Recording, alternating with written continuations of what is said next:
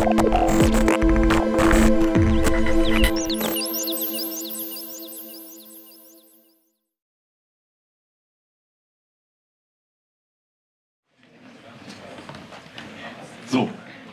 schönen guten Abend. Ja quasi schon Vorabend. Schön, dass ihr noch da seid. Ähm, der Vorteil, wenn man so ein bisschen später dran ist, ähm, ist, dass man am Ende der Session so ein bisschen, ja, so ein Recap der, der Konferenz machen kann. Und das ist im Prinzip ein bisschen das, was ich, ähm, was ich versuche in dem Talk auch zu machen. Ich mache zwei Dinge. Ähm, Debugging AI. Ähm, das eine ist, ich debugge erstmal euch. Eure Vorstellung davon, was künstliche Intelligenz ist, was ihr damit anfangen könnt, warum dieser Hype entsteht. Ähm, und danach komme ich zu dem Teil, so jetzt habe ich ein AI-Projekt und ich bin auch überzeugt davon, dass es Sinn macht, das zu tun, äh, AI zu nutzen. Ähm, wie gehe ich jetzt damit um? Wir sind hier und beschäftigen uns mit einem der, der ältesten Probleme, die wir in der Informatik so haben. Der Term künstliches neuronales Netz er ist von 1943. Ähm, ich bin nicht ganz so alt. Ich habe in dem Bereich promoviert in den 90ern. Ähm, und ich habe ein bisschen was gesehen, ein bisschen was, ähm, was mitbekommen. Ähm, ich habe ganz viel so im medizinischen Bereich ähm, gemacht, medizinische ähm, Expertensysteme, Diagnosesysteme, äh, Maschinenbau, juristische Beratung, ähm, solche Geschichten, ähm, schön zu sehen, dass gerade der Kollege von Performance Advertising da war. Äh, da habe ich das Ganze mit, dem, äh, mit diesem Smart Cluster aufgebaut. So schließt sich der Kreis. Äh, ich wollte mir aber gerade angucken, was, was treibt denn diesen momentanen Hype? Warum war, stand heute Morgen hier jemand von Amazon, erzählt uns, dass Alexa die nächste geile Sau ist? Ähm, hier haben, ich weiß nicht, wer alles da war, das gesehen hat, ähm, schätzungsweise zwei Drittel die Hände gehoben, dass sie eine Alexa zu Hause haben oder benutzen. Ähm, und auf dieser Konferenz war es jetzt nicht. Bisher habe ich es ganz häufig gesehen, sozusagen ganz häufig fällt der Begriff, das ist Magie, was da passiert. Und äh, was ich so ein bisschen versuche zu sagen, nee, Bullshit. Da ist nichts magisch dran. Das ist stumpfe Mathematik. Ähm, und einer der, einer der Faktoren, die das treiben, das wisst ihr alle, da erzähle ich euch nichts Neues, ist diese Compute Power. Warum erzähle ich euch das trotzdem? Ähm, ich habe Projekte gesehen, in denen sind Leute hergegangen und haben gesagt, ich stelle mir jetzt einen großen Cluster in den Keller, weil ich mache ja AI. Das ist natürlich totaler Quatsch. Ja, weil die Compute Power, die, die, es, die es wirklich bringt, und deswegen hat äh, Amazon so einen Erfolg damit, diese Compute Power, um die es wirklich geht, ist welche, die kann ich mir für das Training der Modelle kaufen, minutenweise. Und wenn ich mit dem, mit dem Trainieren fertig bin, dann brauche ich das Ding nicht mehr. Also außer ich mache das natürlich immer wieder und immer wieder, dann ist ein anderes Thema. Ähm, aber wenn ihr ein Projekt kommt, wo es heißt, wir haben einen riesen Cluster, macht da mal ein Machine Learning drauf, dann denkt ihr euch, einen in die Hand nehmen. Hat jemand nicht verstanden, worum es geht. Das zweite ist More Data. Klar, hören wir ständig, ja, Daten sind das neue Öl, ähm, datengetriebene Gesellschaft, datengetriebene Geschäfte, etc. etc. Ich fand das heute Morgen in diesem, äh, in diesem Alexa-Talk total bezeichnend, als er hinterher meinte, no privacy questions. Denn die Daten, das seid ihr. Die Daten, das sind wir alle. Die Daten, das sind unsere Customer. Ähm, denn das ist das, was tatsächlich passiert. Wir können heute viel mehr messen, wir haben viel mehr Speicher, um irgendwelche Sachen zu machen. Amazon kann hergehen, kann sämtliche Fernsehprogramme gleichzeitig aufzeichnen, äh, deren, deren Ton raus extrahieren, die da die Deskription daraus nehmen und auf diesen Daten lernen. So können Sie dieses Newscaster, äh, diese Newscaster-Stimme produzieren, die, die er heute Morgen gezeigt hat. Ähm, das, sind, das sind Daten. Aber eben auch wir alle, die wir mit Alexa interagieren und sagen, du dummes Ding, ich möchte bitte, dass du das und das tust, warum verstehst du mich denn nicht? Ja, das, das, was heute Morgen so schön meinte mit User-Feedback, das ist das, wo dann bei, bei Amazon Leute da sitzen oder bei irgendwelchen ähm, Drittfirmen und sagen, transkribiere mal, was der, was der Nutzer wirklich gesagt hat, als das Mikro offen war, damit ich das wieder in mein Machine Learning reinfüttern kann. Das heißt, Daten sind das neue Öl. Was ich daraus kriege, das, haben, das macht Amazon super, super vor mit dem Ding, ist eine Business Opportunity. Was ist die Business Opportunity, die ich daraus kriege? Ähm, ob es jetzt bei Uber selbstfahrende Autos sind, weil es sich schlicht und nicht, nicht, nicht lohnen wird, jemals ein Taximodell für Uber irgendwie anders zu, zu machen, solange ich noch selber fahre. Also solange ich Fahrer habe, die, die fahren. Die müssen bezahlt werden. Das Modell funktioniert nur, wenn die irgendwann dahin kommen, dass ich sage, ich schicke autonome Autos durch die Gegend, die euch hin und her fahren. Dann spare ich mir einen Haufen Personalkosten, beziehungsweise Leute, die ich dafür bezahle, das zu tun. Ähm, bei Amazon ist das ganz klar. Die wollen einen neuen Zugang in den Markt, die wollen einen neuen. Das, was, was Apple vorgemacht hat mit dem App Store, das wollen sie mit den Skills. Ähm, alle, die nicht für Amazon arbeiten hier, eure Jobs sind damit in Gefahr, weil die Brands, für die ihr arbeitet, die verschwinden in diesem Conversional UI nämlich. Ja, diese sprachgesteuerte Ding. Das heißt, die wollen stärker mit dem Vehikel AI Leute in, in diese Business-Plattformen reinziehen mehr Daten generieren, weil mehr Daten heißt, dass ich besser trainieren kann, dass ich besser werde, ähm, dass, ich, dass ich sozusagen noch einen größeren Marktanteil kriegen kann. Muss man wissen, wenn man sich darauf einlässt. Oder man muss es eben selber machen. Ja, so, wenn ihr so ein Projekt seht, wo ihr sagt, Chaka, ich kann daraus echt ein Business generieren, dann ist das super. Ähm, ich habe es nicht auf die Folie geschrieben, weil ich es weil ich die Folie recycelt habe. Ähm, ich bin vor einer Woche drauf gestolpert, es gibt ein wissenschaftliches Paper von Booking.com, wo sie sagen, was machen wir denn mit den Daten, was machen wir mit Machine Learning? Und wir halten das gegen den Business Value. Und die haben festgestellt, ähm, dass bei Projekten, bei denen sie AI eingesetzt haben, der Business Value signifikant höher ist als bei anderen Entwicklungsprojekten. Hat irgendeiner Angst um seinen Job, der nicht in AI ist? Jetzt ist der Zeitpunkt aufzupassen. So. Schöner, äh, schöner Punkt aber an der Seite, wir hatten, wir hatten gestern den äh, Joblift-Vortrag, ähm, wo die beiden su eine super, super Performance hatten von ihrem, ähm, von ihrem Beispiel und dann am, am Ende in der Frage oder in, dem, in, dem, in, dem, in, dem, in der Zusammenfassung äh, sagen mussten, ja leider können wir unser Management nicht davon überzeugen oder unseren, unseren Manager, dass das ein Benefit ist, dass das uns so viel mehr bringt, dass es das lohnt, das Invest zu machen, nämlich diese 80 Prozent, die wir gerade in dem Vortrag gehört haben, die da am Ende noch kommen, wenn ich mein AI-Modell trainiert habe, das aber irgendwie in Produktion zu bringen. Projekte, wo wir alle hier sitzen, die so zum Spielen sind, wo nicht das Management bei Ihnen ist, wo keiner verstanden hat, warum das notwendig ist, lass die Finger davon. Hat keinen Sinn. Habe ich 20 Jahre gemacht kann ich euch sagen. Ist mäßig spaßig.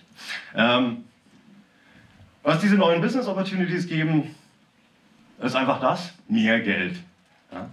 Das ist jetzt hier eine ähm, VC-Studie, die sagt, wie viel VC-Geld wurde in AI-Startups gepustet. Interessanterweise gibt es eine andere Studie, die sagt, vier von zehn AI-Startups benutzen überhaupt nur AI, die anderen schreiben das nur drauf. Ähm, das ist die andere Möglichkeit, wie man das macht. Und ähm, eine Sache, die ich gerade in Deutschland immer äh, sehr, sehr gerne sehe. Ähm, für viele AI-Projekte, die ich hier sehe, momentan ist das da der ausschlaggebende Grund. Die Angst, etwas von dem, was ich gerade gesagt habe, zu verpassen. Die Angst, diese Business Opportunity nicht mitzubekommen. Die Angst, von anderen abgehängt zu werden. Nicht die Daten zu sammeln, nicht das zu haben. Schönstes Beispiel, was ich so aus meiner letzten Vergangenheit gehört habe, ist Daimler mit dem Leuchtturmprojekt, was sie zusammen mit der IBM gemacht haben. Und gesagt, das ist unser Einstieg in AI, haben sie letztes Jahr vorgestellt. Ähm, das war eine App, mit der konnte man seinen Mercedes fotografieren. Ähm, und das Ding hat dann gesagt, was man gerade fotografiert hat und was man machen kann. Also, das ist ein Lenkrad, das ist, ein, das ist folgendes Warnlicht, etc. Ich kannte das in meinem Ding noch als Bedienungsanleitung, hat auch keiner gelesen. Warum, das, warum diese App irgendwie AI braucht, ein Bild zu erkennen, um zu sehen, was ich da fotografiert habe, das erschließt sich mir nicht. Das ist ein typisches Angstprojekt. Angst zu sagen, ich verliere den Anschluss an Leute, die sich mit AI auskennen, Business Opportunities etc. Erzähle ich deswegen, weil es für euch total relevant ist zu verstehen, in welcher Art von Projekt bin ich denn? Was will mein Kunde, mein Chef, was will der überhaupt von mir? Nachdem ich das jetzt hoffentlich ein bisschen eingeordnet habe äh, und ihr alle sagen könnt, Chakar, wir sind auf der Gewinnerseite, wir haben die Daten, wir haben das Businessmodell dahinter, wir wissen, was wir tun. Mal ganz kurz. Ähm, die, die, letzte, die letzte allgemeine Folie. Ähm, was machen wir? Strong AI oder Weak AI? Strong AI ist dieses Verständnis, ich verstehe wirklich, ich möchte wirklich das tun, was Menschen tun und möchte über das, Reasoning von Menschen was verstehen. Weak AI ist das, was wir normalerweise alle machen, so, ich möchte ein bestimmtes technisches Problem lösen. Dafür habe ich eine Menge von Toolsets.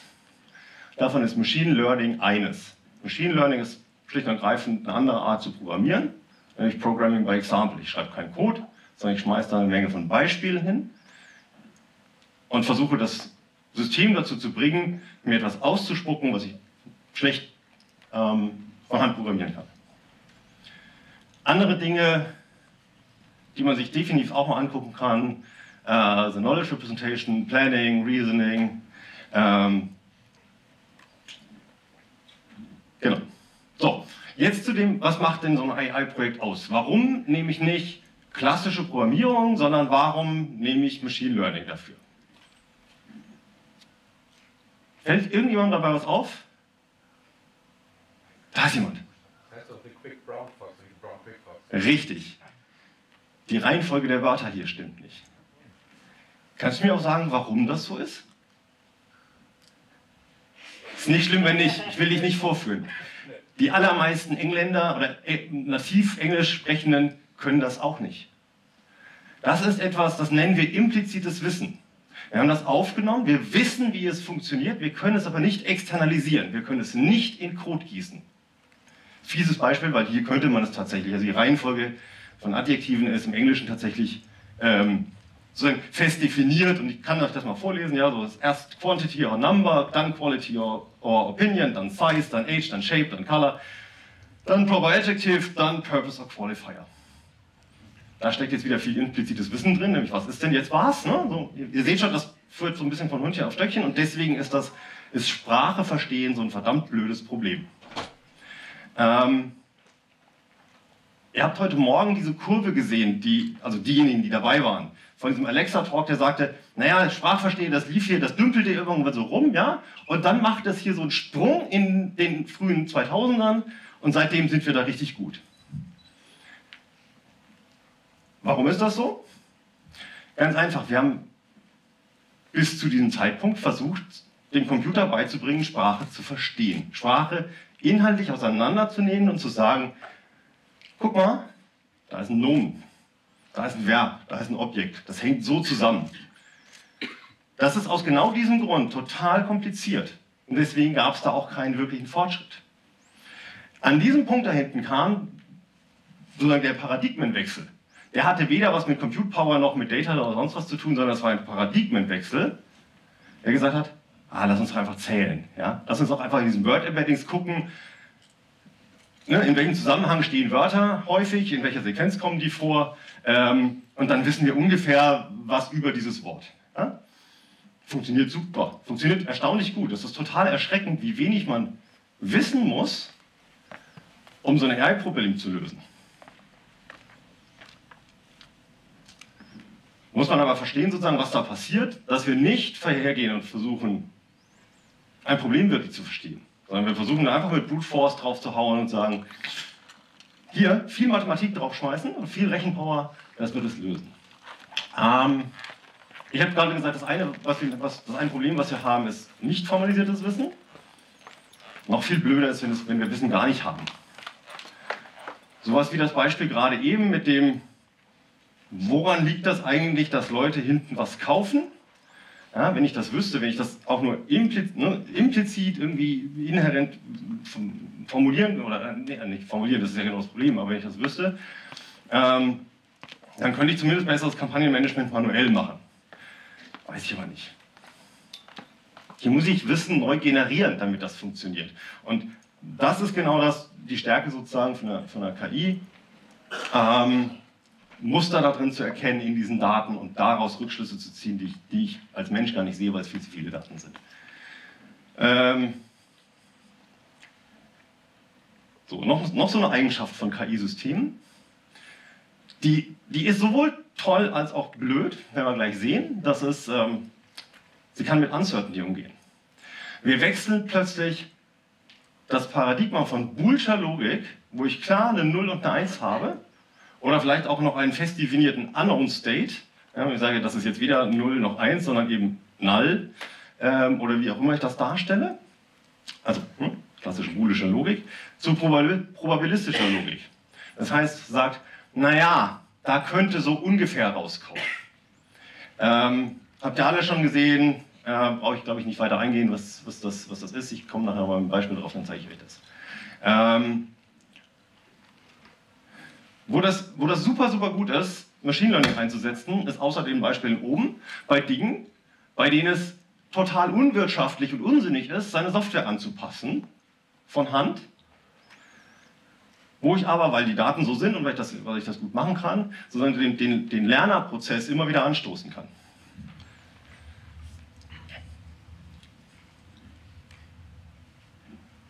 Hier würde ich jetzt normalerweise erklären, warum AlphaGo, wie das funktioniert, etc. Ähm, will ich jetzt gerade gar nicht, habt ihr im Laufe der Konferenz auch schon reichlich gehört, war wahrscheinlich, da war ich leider nicht drin in dem Popper-Vortrag, ist egal.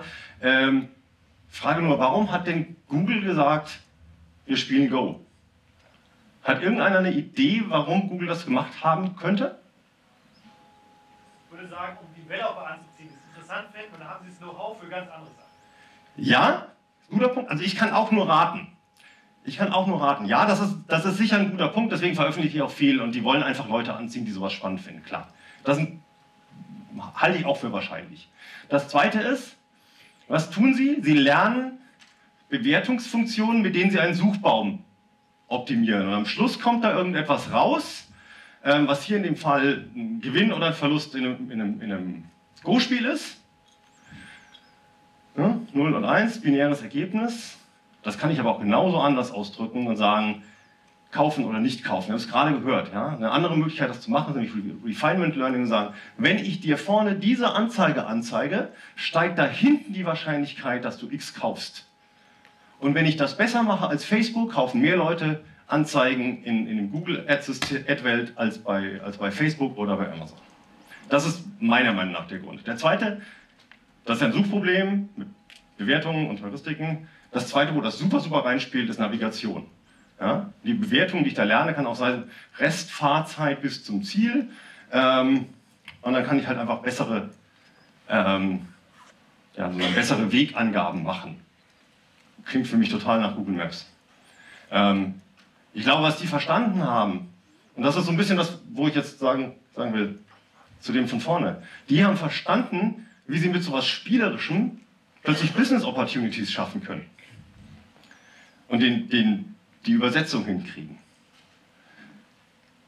Kennen wir alles, Computer Vision, da wollte ich jetzt gerade gar nicht drauf eingehen, das haben wir gestern ähm, viel, viel besser gehört. Ähm, haben wir gerade eben gehört, möchte ich einfach nicht normal erklären. Ähm, ich möchte jetzt mal einfach davon ausgehen, ihr habt jetzt ein AI-Projekt fertig. Fertig, ne? ja, schon so ein Ding. Ähm, und möchtet das oder, oder müsst das debuggen. Müsst irgendwie sagen, so, wie gut ist das jetzt? Macht das Fehler? Was für eine Art von Fehlern macht das? Was tut es? Ja, Nochmal die Properties von gerade eben, die sagen, das ist blöd von Hand zu codieren. Warum? weil wir kein Wissen darüber haben. Weil wir mit, also mit Unsicherheit umgehen müssen. Da habe ich so Dinge mit ja, Schwierigkeiten mit Wahrheiten umzugehen. Wenn ich es programmieren könnte, wenn ich es wissen würde, dann könnte ich es programmieren, dann könnte ich auch Tests dafür schreiben. Das Problem ist, wenn ich nicht weiß, was rauskommt, kann ich ganz schnell nur Tests dafür schreiben. Ich habe gesagt, ich komme aus dem medizinischen Umfeld. So. Dinge, die aus so, einem, aus so einem Klassifikationssystem, weil nichts anderes ist ein neuronales Netz, rausfallen. Ähm, was ist die korrekte Diagnose? Also gegeben eine Menge von Features, im medizinischen Fall nennt man das Symptome. Was kommt hinten für ein Label? Man nennt das Diagnose raus. Oder genauso, was kommt für eine, für eine Therapie raus? Äh, Mediziner schlagen sich damit seit zweieinhalbtausend Jahren rum, hinterher festzustellen, ob das richtig oder falsch war, was sie da gemacht haben. Blöderweise weiß man es oft erst, wenn man den Patienten aufgeschnitten hat dann ist er vorher tot. Das habe ich auch woanders. Ja, wir hatten das gerade eben in dieser Customer Journey, in diesem Customer Journey Beispiel. Wenn der Kunde auf dem Weg abbricht und nicht kauft, dann habe ich immer noch keine Ahnung, warum er das nicht tut. Ja, wenn ich das in einem Customer Support System mache und der, der Call ist beendet ähm, und ich kann das nicht irgendwie nachvollziehen, weil der, weil der Nutzer das eingibt oder weil, weil er gesagt hat, äh, wie es ist, dann weiß ich nicht, ob der Kunde hinterher zufrieden ist oder nicht. Ich weiß eigentlich nicht, ob ich sein Problem gelöst habe. Vielleicht liegt er auch nur entnervt auf. Ähm, das heißt, ganz oft fehlt mir dieses Wissen. Das zweite Debugging-Problem, das geht jetzt so wieder ein bisschen Schritt zurück. Wir trainieren aus Daten. Wo kriegen wir denn die Daten her? Also ich gehe bei diesen Google Captures immer erstmal her und klicke erstmal zehnmal das Falsche, bevor ich einmal das Richtige klicke, einfach um mir einen Spaß draus zu machen, Google die Daten zu versauen. Macht das bitte auch, dann wird das viel effektiver. Ähm, ich habe ein anderes Beispiel, wo es, drastischer klar wird als, ja, ich erkenne halt kein Stoppschild. Ne? Ähm, das, ist, das ist blöd, aber ich glaube, dass Google mich da schon rausfiltert, aber egal. Ja? Wir haben das mit den, mit den Wortvektoren jetzt ein paar Mal gesehen, auch mit dieser Rechnung. Ähm, wenn ich das versuche auf den Wikipedia-Artikeln zu machen, so auf ganz Wikipedia, dann kriege ich da raus, dass King minus Man plus Woman gleich Queen ist. Ich kann mit den rechnen, kann dann so Konzepte da rauskriegen, ist ja super. Wenn ich das aber mit Dr. minus Man mache plus Woman, was sollte denn da eigentlich rauskommen? Das sollte auch Doktor rauskommen, weil das ist nur die Bezeichnung für eine weibliche, für eine Ärztin. Ja, es kommt aber Nurse raus. Das heißt, was ich tue, ist Bias, der in den Daten drinsteckt. Hm, wie gesagt, Wikipedia, das ist ja auch gereviewt etc. Das ist ja kein, das ist ja kein Bullshit da drin. Ähm, das Bias, den ich repliziere. Wenn ich das nicht vorher behandle, wenn ich, nicht, wenn ich mir nicht klar mache, wo kriege ich die Daten her, welche Qualität haben die etc., ähm, dann ist das einfach Mist. Ich weiß nicht, wer gerade aus dem Talk gerade eben sitzen geblieben ist. Ja, diese, Senden, die, diese Sätze, er wollte Sätze klassifizieren, ob sie Winter sind oder nicht Winter und hatte dann diesen einen mit dem 26. Juni. Das war nicht Winter. Ja, das ist das Mindset unserer, von uns hier auf der Nordhalbkugel. Ich glaube, Australier sehen das völlig anders.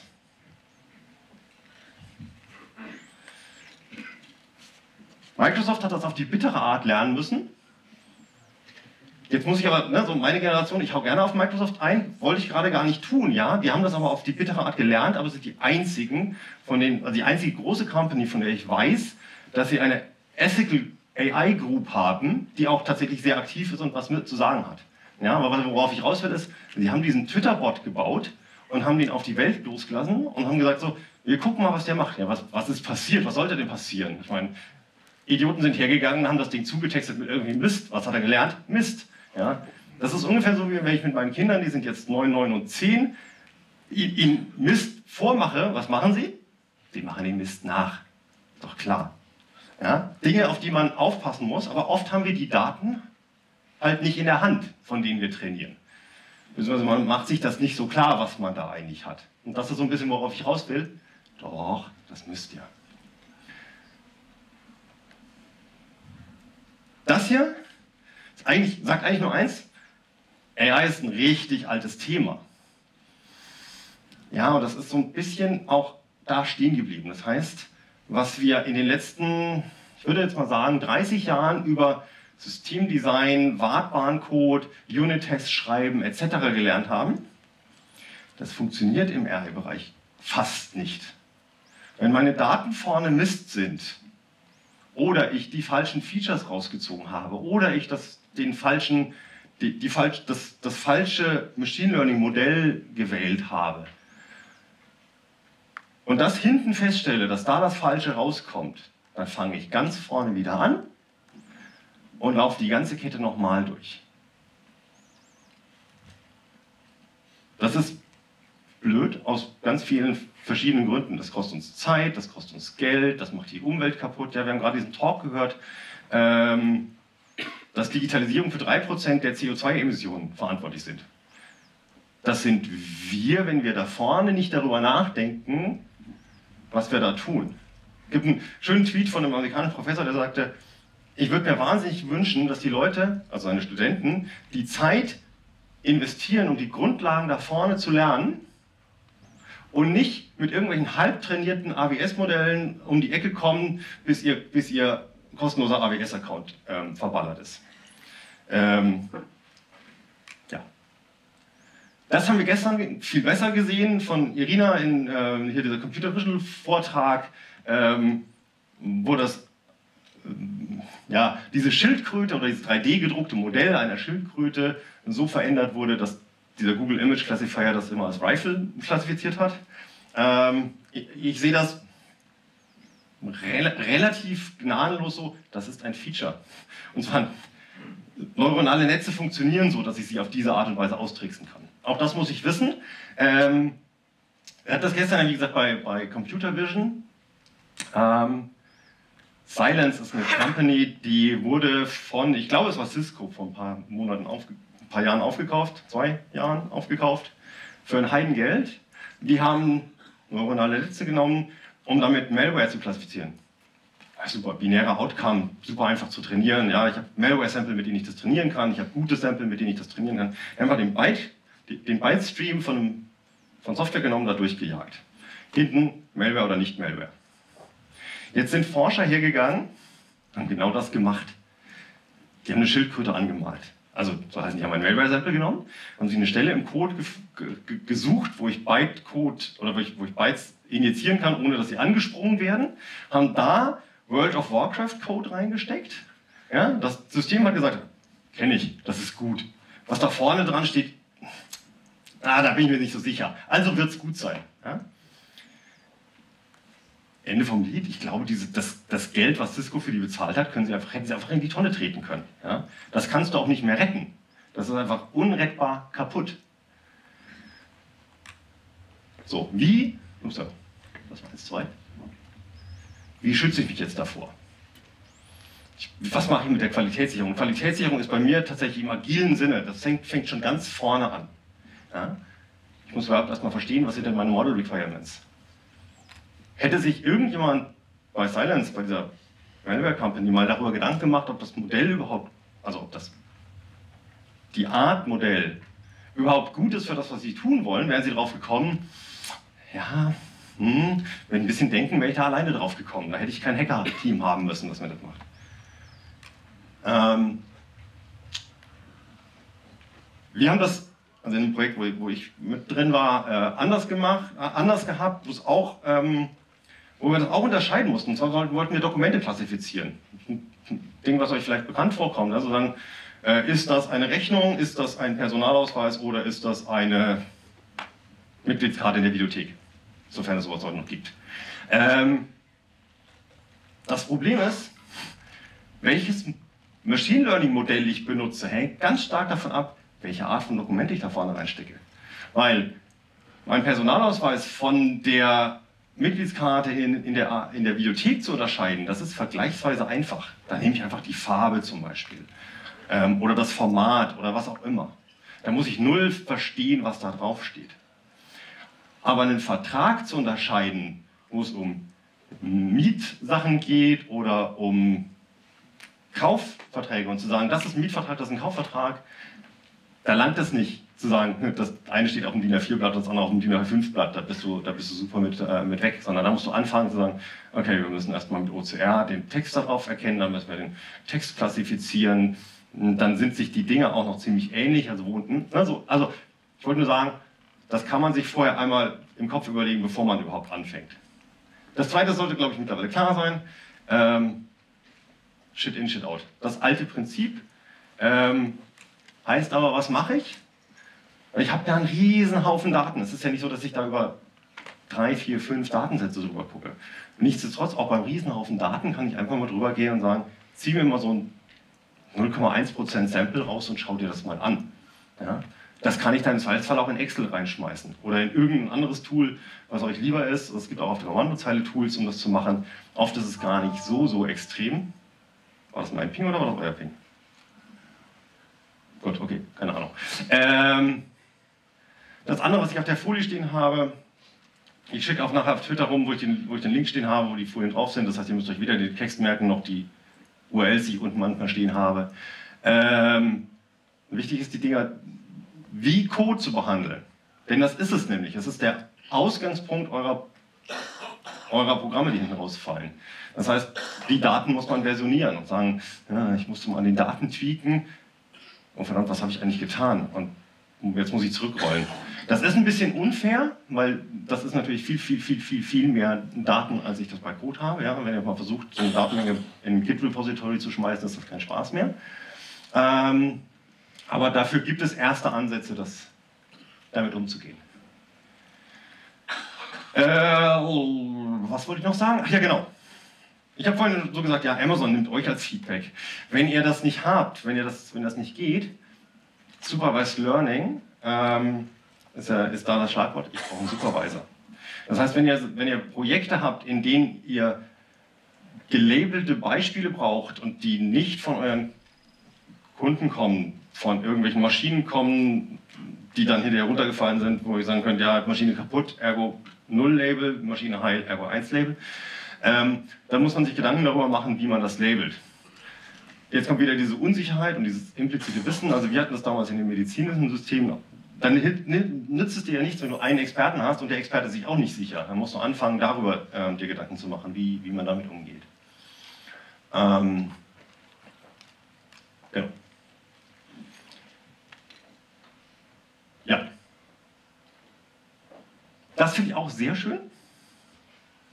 Wird viel zu selten gemacht. Wenn ich die Daten nicht habe, dann kann ich mir die natürlich auch generieren. Ich kann dafür sorgen, dass bestimmte Muster in den Daten drin sind. Und wenn dann meine AI nicht alle Muster findet, dann weiß ich wenigstens, dass sie was nicht kann. Das darf man nicht exzessiv und nicht ausschließlich machen, weil auf, ne, so, dann habe ich auch nicht die reale Welt getroffen. Ähm, aber an der Stelle ist das was, wie man, wie man definitiv auch zusätzlich mit ähm, Beispieldaten umgehen kann. Da fällt so ein bisschen auch das rein, was, äh, was wir gestern gehört hatten, mit mehr pack auch die Adversarial-Beispiele mit rein, dann wird das besser.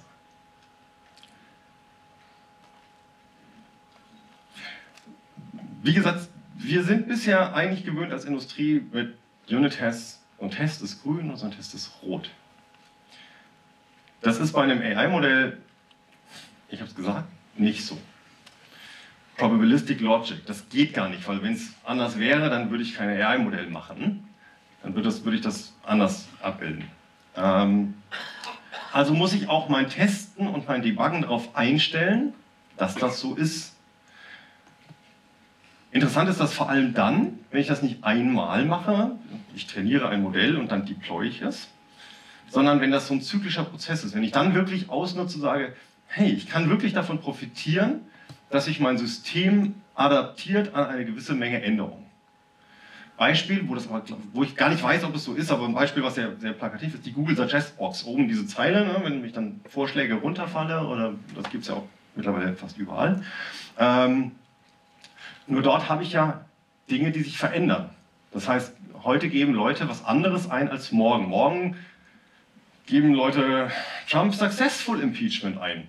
Beispielsweise, ja, das war gestern noch nicht der Fall. Also muss ich dieses System anpassen. Das ist etwas, wo Machine Learning Systeme gut sind. Wie gehe ich aber mit Testen von sich anpassender Software um? Da langt ja nicht, wenn ich am Anfang einmal teste und sage, naja, wann haben die das eingeführt? 2011 hat das funktioniert. Jetzt macht es halt dann im Zweifelsfall Mist. Da gibt es äh, Ansätze für, zu sagen, ich akzeptiere eine gewisse Menge von Verschlechterungen ähm, in der Hoffnung, dass es danach wieder besser wird. Da muss man ein bisschen aufpassen, wo man so Quality Gates ähm, setzt und so ein Kram.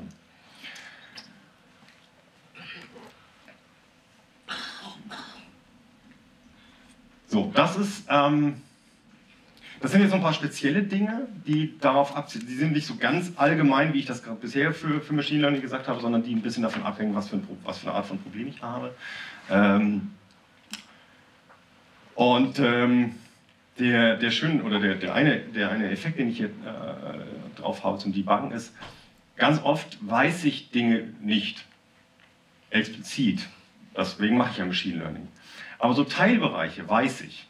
Für Teilbereiche davon habe ich Statistiken. Ja? Wenn ich jetzt in diesem medizinischen Umfeld bleibe zum Beispiel, dann weiß ich, dass mit zunehmendem Alter das Risiko für einen Herzinfarkt steigt.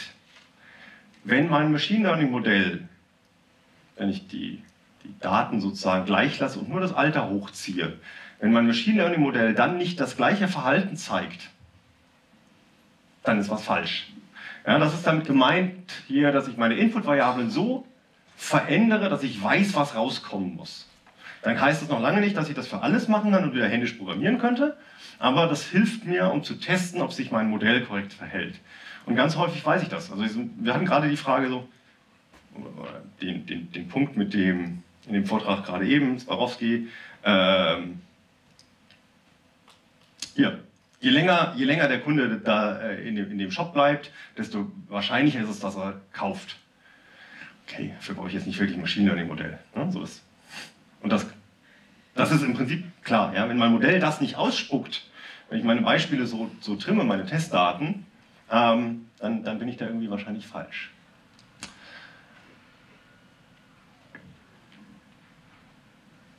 Ich weiß gar nicht, ob es auf der Seite stehen hatte oder woanders, ist jetzt egal. Ähm, eine schöne Geschichte noch. Ich muss auf der, auf der, auf der richtigen, ja, hier, komme ich gerade auf der richtigen Ebene messen. Ähm, ganz viele Leute gehen her und sagen, ich gucke mir den Outcome an. Ich hatte mal einen Kollegen, der hat gesagt, oder der hat in seiner Diplomarbeit ähm, die Aufgabe, so ein, so ein Soccerspiel, ja, so diese Agenten über die Feld jagen und die spielen Fußball. Ähm, und sollte die trainieren mit dem Reinforcement Learning, was wir, was wir vorhin, äh, was ich vorhin ganz, ganz kurz angerissen hatte. Ähm, und er hatte an, an irgendeinem ähm, Punkt hat er eine Mannschaft, die hat grundsätzlich zu Null gespielt. Die hat alles gewonnen, was, was da war. Und wenn er jetzt sagen könnte, super, ist eigentlich genau das, was ich wollte. Ja? Nehme ich, bin ich fertig, alles super. Wir hatten Gott sei Dank das Glück, dass wir ein Tool hatten, womit man sozusagen die Bewegung auf dem Feld visualisieren konnte was dann dazu führte, dass man gesehen hat, dass er schlicht und ergreifend einen Fehler in der Modellierung gemacht hat und das Tor, das war auch ein Agent, so modelliert hat, dass er vergessen hat zu sagen, ja, dieses Tor darf sich auch nicht bewegen. Das war so ein Fleck in, dem, in der Oberfläche. Das heißt, das Tor hat gelernt, wenn der Ball kommt, gehe ich zur Seite. Das sieht man natürlich nicht, wenn man nicht an der Stelle reinguckt. Ja? Und wer baut sich denn außer an der Uni ein Visualisierungstool, um, um solche Sachen zu visualisieren? Ja? Also immer so ein bisschen auch gucken, kann der Outcome, der da rauskommt, gut sein? Ja? Also wir hatten gerade den, den Beispiel, ne, in, dem, in dem Beispiel mit der, mit der Click Journey, diesen, wir hatten eine, eine, eine Genauigkeit von 99,9% auf, den ersten, auf den ersten Wurf. Nein, das, das kann nicht sein, das wird nicht stimmen. Ja? Und dann muss man reingucken, wo man den Fehler gemacht hat. Jetzt kommt was, das sollte eigentlich vollständig klar sein. Ja? Diese Dinger machen Fehler. Machine Learning macht Fehler, weil es so designt ist. Was machen wir, wenn wir Fehler machen? Wir bauen ein Safety Net dafür. Das ist offensichtlich nicht jedem klar. Ja? Uber hat in Texas auf dem, was war es, ein Volvo, glaube ich, das, den Notbremsassistenten abgeklemmt, weil sie sagten, ja, unser Auto kann das besser, unser Modell. Die Nachricht habt ihr vermutlich gesehen. Darunter, oder die Folge war, dass das Uber-Auto eine Radfahrerin totgefahren hat. Da, da sterben Menschen, weil man diesen Basic-Grundsatz nicht beherzigt, zu sagen, brauchst du ein Sicherheitsnetz. Ja? Euch ist das vielleicht klar, aber da sitzen hochbezahlte Engineers, die sagen sich, mir egal, ich fahre ein paar Leute tot. Ja, es muss ja nicht jedes Mal gleich mit Toten enden. Ähm, das kann man sehen, wie man möchte. So ein Safety Net kann im Übrigen auch Explainability sein. Das ist was, was gerade in, äh, in der europäischen Gesetzgebung relativ stark nach oben gespült wird, zu sagen, so ein AI-System muss erklärbar sein. Das ist nur eine Möglichkeit, wo, wo ich sozusagen sehe, äh, wie, das, wie das funktioniert. Genau. Ähm, ich habe jetzt keine Ahnung, was die Zeit sagt, aber zur Not nehmen wir das für die Fragen, wenn ich was übrig haben sollte. Ähm, ich habe zwei Folien, die ihr, also wenn ihr bisher eingeschlafen seid, jetzt bitte aufwachen. Es gibt zwei Folien, wo das Wichtige draufsteht. Das eine ist, Bitte nehmt Machine Learning nur, wenn euch klar ist, dass dieses Ding Fehler machen kann und dass ihr diese Fehler bereit seid zu akzeptieren. Das ist in ganz vielen Fällen okay. Ja? Booking.com, wie gesagt, Business Value produzieren ist deutlich besser als bei anderen Sachen. Warum? Weil es im Zweifelsfall nicht, nicht so gravierend ist, dass ich einmal eine falsche Empfehlung gebe für nimm dieses Hotel, wenn ich dafür hundertmal das Bessere zeige. Wenn ich bei einem autonomen Fahrzeug sage, naja, ist egal, ob ich einmal drüber fahre, wenn ich 100 Leute gerettet habe. Ist nur so mäßig gut, die Option, finde ich. Ja? Ähm, das gibt es auch in diversen Varianten, muss ja nicht gleich totgefahren sein, wie gesagt.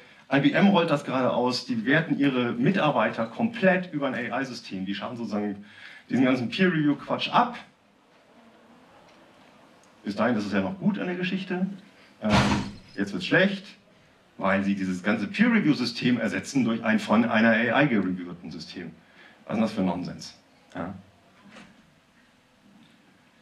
Ähm, und das ist eigentlich mein persönlicher Favorit nach, nach 25 Jahren äh, in, in AI. Nehmt es, um neues Wissen zu generieren. Nehmt es, um zu sagen, das Ding kann mir Muster zeigen, die ich vorher nicht kannte. Das kann mir zeigen, welche Vorurteile ich in der Wikipedia habe. Das kann mir zeigen, wo welche Krankheiten entstehen. Ähm, es gibt ganz viele Beispiele dafür, ähm, die dann auch viel damit zusammenhängen, wie ich das visualisiere, wie ich das darstelle, wie ich, wie ich verstehe, was mit diesen Daten ist. Nehmt es als Werkzeug, um neues Wissen daraus zu generieren. Danke. Ja, sicher.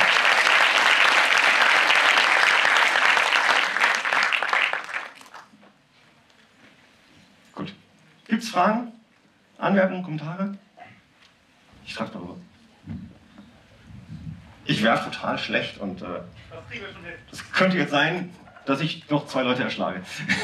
Jo, äh, also ich würde ja AI immer dann einsetzen, wenn ich kein Wissen über die Struktur habe. Du hast es an deinem Brown Fox Beispiel da ja gesagt. Mhm. Und später hast du aber äh, ähm, empfohlen, dass man mal mehr mit generierten Testdaten arbeiten soll. Ja, wie generiere ich denn Testdaten, wenn ich nichts über die Struktur weiß? Es ist zwar so ein kleines bisschen Konzept in diesen Generative Adversarial Geschichten, aber es ist wahrscheinlich nicht das, was du meinst. Oder? Nee, ist nicht das, was ich meine. Ähm, das Beispiel, wo, wo, wir das gemacht haben, ist diese Dokumentenerkennung.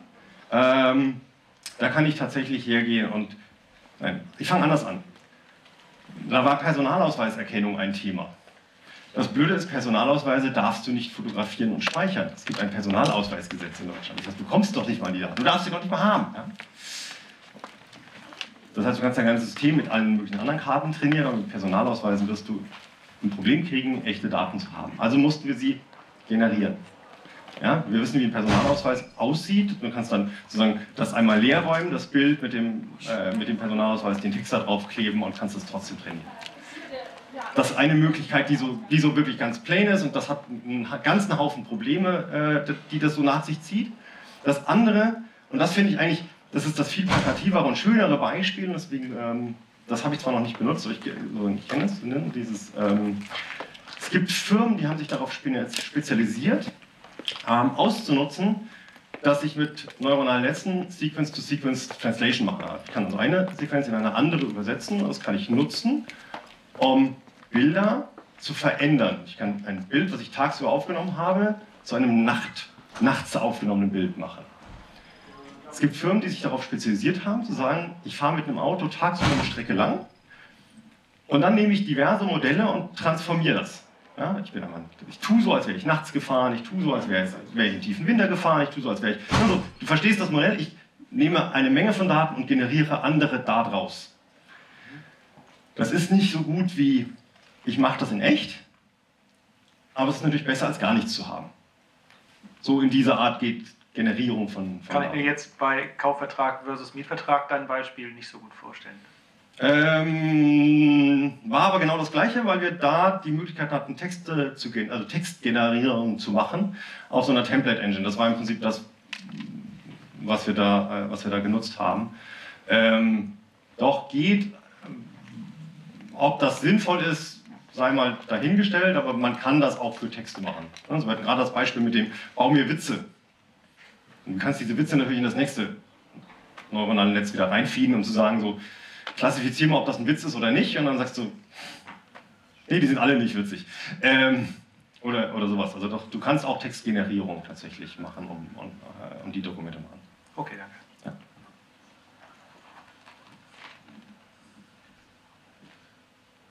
Ich, ich, sehe leider keine Hände oder irgendwas. Das heißt, wenn, muss man irgendein anderer anfangen zu sprechen. Oder ich stelle mich irgendwo hin, wo ich nicht so geblendet werde.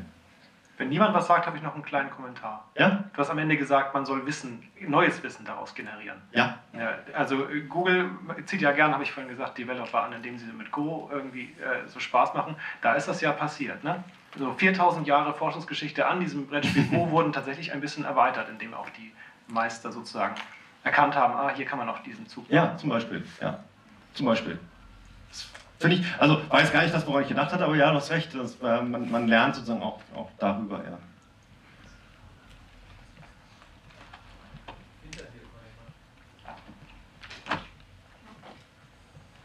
Hallo, äh, danke für die Präsentation bis jetzt und ich werde ein, ein bisschen langsam reden, weil ich mich selbst höre.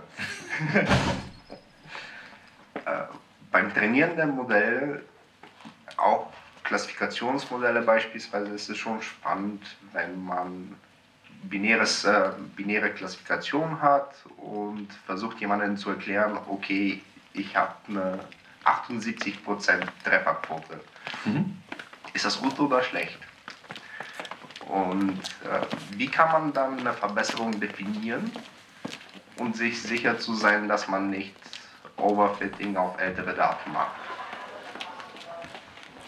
Ähm, der Threshold auf dem einen Label ist ja das eine. Ja. Ähm, das ist aber, ich neige so ein bisschen dazu zu sagen, diese, diese Werte werden total überschätzt, weil eigentlich, was du da raus haben willst, ist äh, eigentlich nur ein, liegt es über oder liegt es unter einer gewissen Schwelle. Mehr kannst du mit diesen Daten in der Regel sowieso nicht anfangen. Also es, du kannst nicht damit irgendwie weiterrechnen oder sonst was. Also ob da jetzt 76 oder 75 oder, oder 93 rauskommt, ist völlig wurscht. Die Frage ist, liegt es oberhalb der Schwelle, wo du sagst, das ist es, oder liegt es darunter? Ähm, wo ich eher, ich versuche mal, versuch mal schnell auf diese Folie zu kommen. Ähm, wo habe ich das Bild? Da. Was da ja eher rauskommt, achso, ah, super, jetzt hat er den Monitor gewechselt, warum auch immer.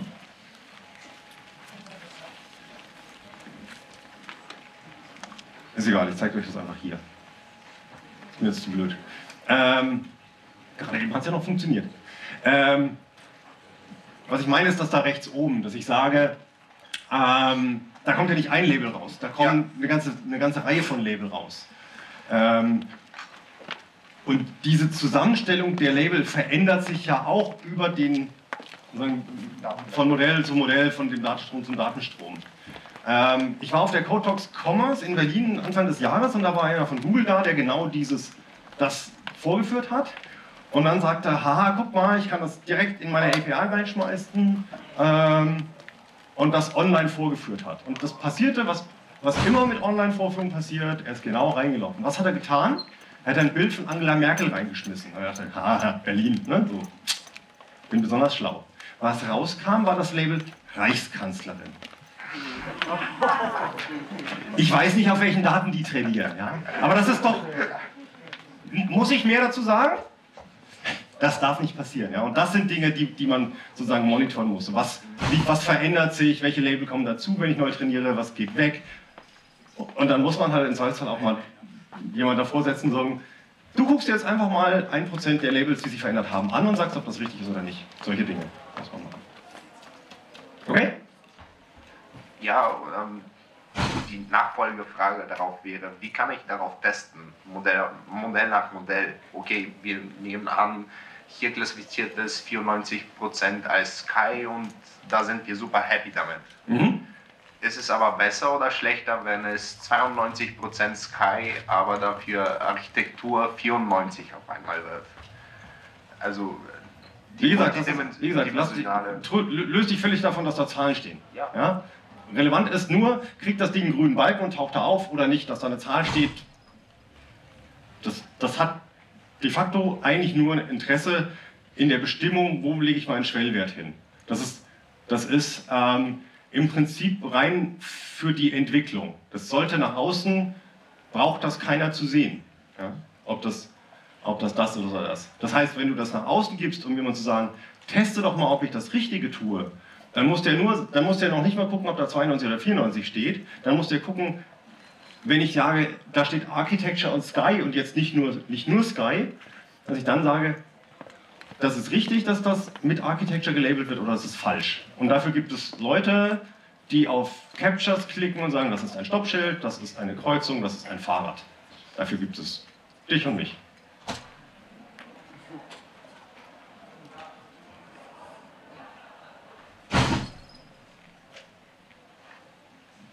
Noch irgendwelche Fragen? Ansonsten wünsche ich euch einen schönen Abend. Guten Nachhauseweg für alle die, die nicht aus Hamburg kommen. Also für die natürlich auch, aber. Ne? Schönes Wochenende. Ciao.